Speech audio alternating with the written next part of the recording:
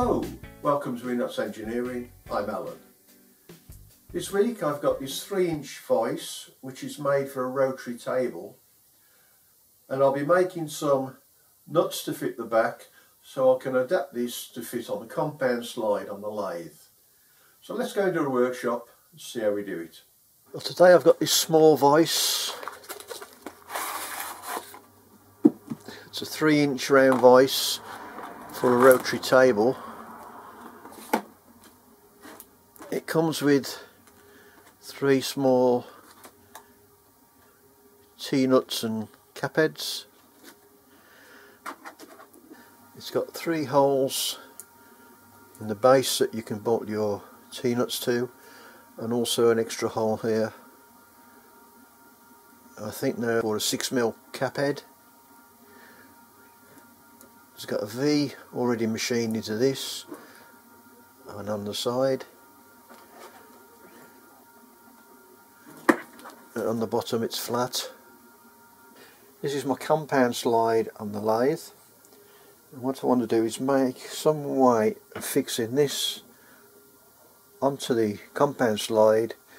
So when I do milling in a lathe I've got a small vise. In the past I've used this vise which is a, uh, just has a block at the bottom. This slides into the tool post T-slot locks up on a cam but the problem with this it's not an accurate vice, there's quite a bit of plane here the other problem is it stands away too far so you get a lot of leverage when you're milling and it's only held on a cam which I don't really like because if that vibrates loose the whole vice moves. I thought it's about time I got a vice that's accurate. I can bolt onto the compound slide. I thought I'd use a piece of bar, machine two round nuts and that way I can control the diameter at the top here so when I slide the T-nuts in I know the vice should be square to the compound slide. This is 33 mil. As you can see the outside is quite rough. It's got dents and bumps in it. I've clocked this up. This this uh, DTI is 10th hour one revolution. The nearest I can get this is about 10th hour because of the finish on the outside.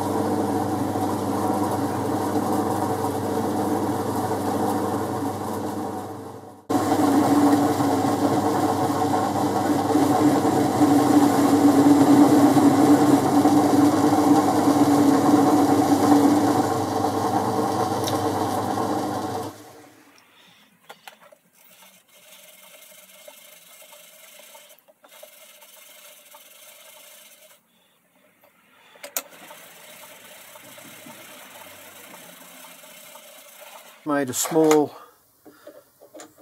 threaded mandrel to hold the nut I'm making.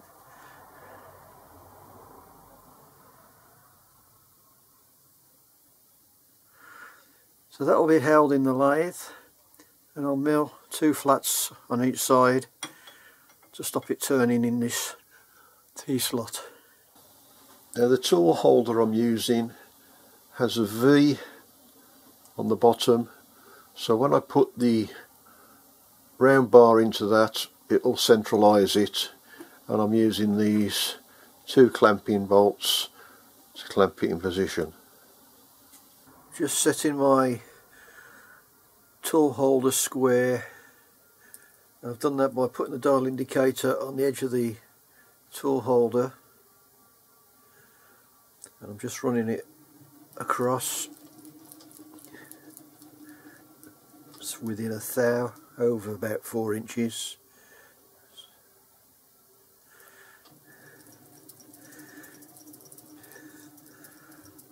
So I know that my tool post is square in the axis and what I'm going to do is take this out put it in the other side. So what I've done is brought it up to the end mill till it touches the face set my compound slide to zero lock the saddle and wind it out. Now I'll take a cut across that face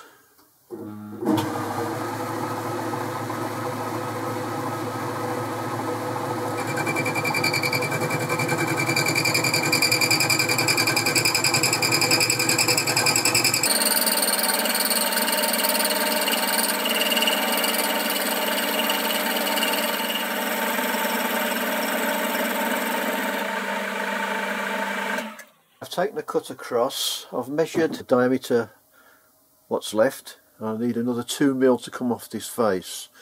So I've set my dial indicator on the top of the tool holder. So now when I undo this, so by turning the tool adjustment,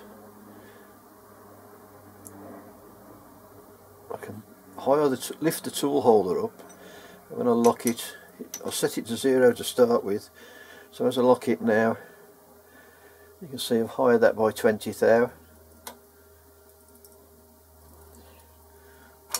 I'll relock the cap head on the top.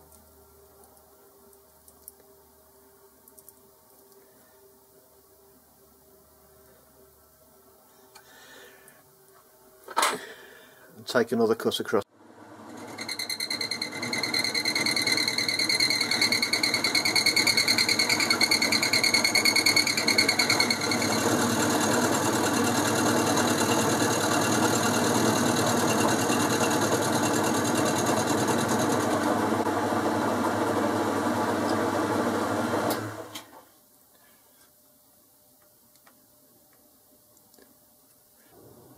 26.58 millimeters and I need it to be 25.1 so I'll take another 20 thou off and recut again. So I'm slacken off the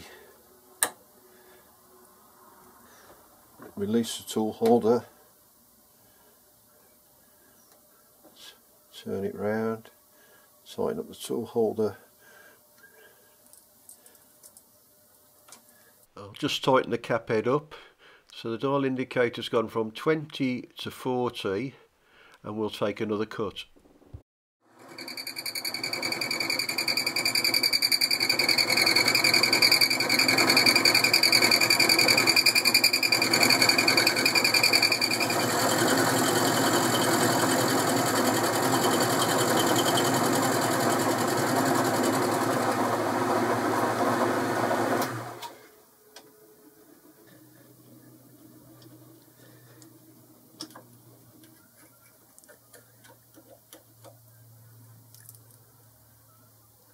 25.15 that's about two thou up I'll leave it at that so now I need to turn it around 180 degrees and do the same on the other side that's point oh five, which I think is about two thou. So that's that'll do for that. Ready to mill the other side.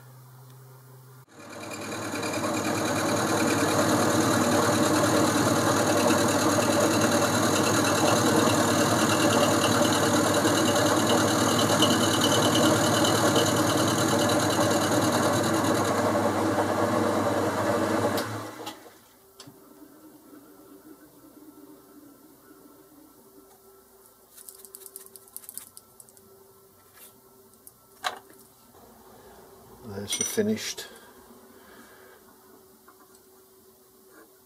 T-nuts. So I'll put the other one in, do exactly the same again. I'll finish the second one and I'll remove any sharp edges with a file and then see if they fit. Okay, these are the two T-nuts that fit in the tool post. And you might be thinking, why do I want two T-nuts? Hopefully now these fit on there and I can use the T-nuts to bolt it down. So with the T-nuts in position, I can clamp that down. So now I can put anything in there for milling. Don't forget though, this is normally used in my milling plate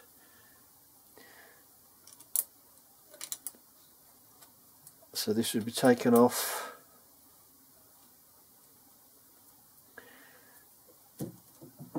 It would normally be in that position. So I can move it up and down.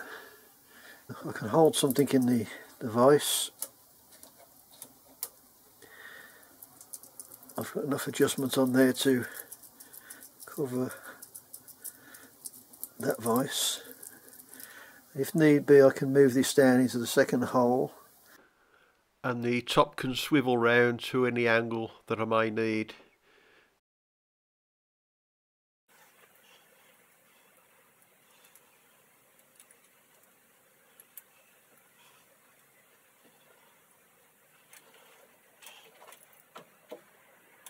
Well, that's it for today. I hope you found that useful, and we'll see you next time on Enots Engineering.